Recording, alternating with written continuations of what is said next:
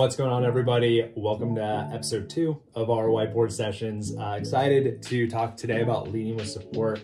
This is something that's very much an extension of our last conversation, which was uh, all about buyer outreach and kind of that cold email and how to construct that. Today, I'm going to talk about these two different hero statements and why I think leading with support and this second statement is actually a huge benefit to you as a brand. And it's really going to differentiate yourselves versus kind of the, the whirlwind of outreach that buyers are getting. So when we talk about leading with support, we're going to break it down into these two hero statements, right? So one is I'm with brand X and this is why you should carry us. That's the way every single brand is reaching out. That is that is the positioning that every brand takes when they are reaching out to a retail buyer. And what I want to do today is fight for this hero statement, which is I'm with brand X and this is how I will support you. If you're leading from a place of support, if you're leading from a place of, hey, listen, buyer, I understand you have a difficult job. Here's how I'm going to ensure that you're successful in that job. That is such a refreshing take and such a refreshing positioning to approach that buyer with that I promise you, you will have much better results leading from a place of support than a place of selling 24 7, right? So let's talk about kind of four bullets that I think break down this leading with support concept. So the first one is understanding the buyer's job. I think a lot of people that are listening to this are mostly emerging brands. Emerging brands, that's five to 10% maybe of their annual budget, right? They know their big soda brands they're buying, they know their big cereal brands they're buying, they know their big paper towel brands they're buying, like that's their staples. You're really trying to win in the margin, right? But that five to 10% is super volatile, right? It's constantly rotating out with brands that failed from the previous year, or not even the previous year, last 90 days. And so you need to really not only sell, but de-risk yourself. And I think you de-risk yourselves through kind of what I'm gonna talk through now, and especially through your trade spend budget, right? Here's how we're gonna support you. Here, we understand what your job is, and we're gonna make sure that we're there to support you and your job as the buyer, understanding that that 5 to 10% is super volatile.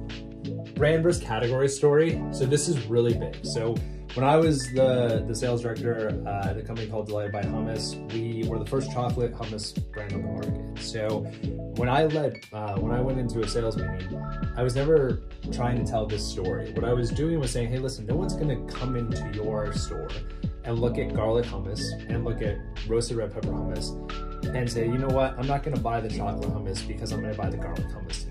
Like that, that concept is not going through the consumer's head. What I used to say was like, hey, we're an incremental item.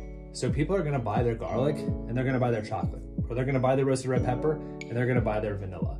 And that story really resonated because it was saying, hey, we're bringing incremental sales to the category. We are increasing the amount of sales that we're bringing to your category. We're not taking business away from anyone. We're expanding the amount of business you can do inside this set.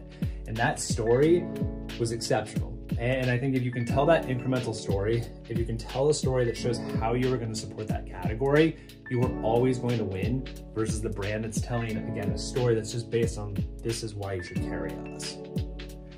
Let's go into the trade spend playbook. You have to understand your trade spend playbook you have to have a good concept of what works for you. If it's demos, if it's digital rebates, if it's promotions, what type of promotions work well for you? Is it BOGOs? Is it uh, percentage off? Like you need to be dialed in to what works for you, what's worked for you in past markets, past retailers, and you need to lead in with your trade spend playbook. I always see trade spend and support buried into page like 10 or 15 on a sales deck, like that should be page two, page three. Like, hey, this is how we're going to support you. This is our brand and this is how we're going to support you. And this is how we've been supporting our previous accounts. Like hammer that point home so hard and just make the buyer feel like this is a brand I want to work with.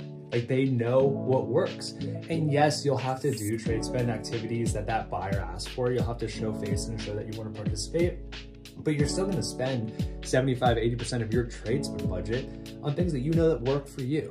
And that's critical. And you need to understand those things and you need to have a playbook that works for you that you can rinse and repeat and continue to add on to as you go into other accounts. It, it should really be a living uh, breathing document And the last thing is going to be ROI and CAC. Like you need to understand your numbers off of this trade spend budget, and you need to let that buyer know, hey, listen, we know if we run a digital coupon, right, we bring this back to WeStock, we know it costs us two dollars to acquire a shopper. So we're going to move a thousand units in the first month because we're going to apply two thousand dollars to the ad spend budget.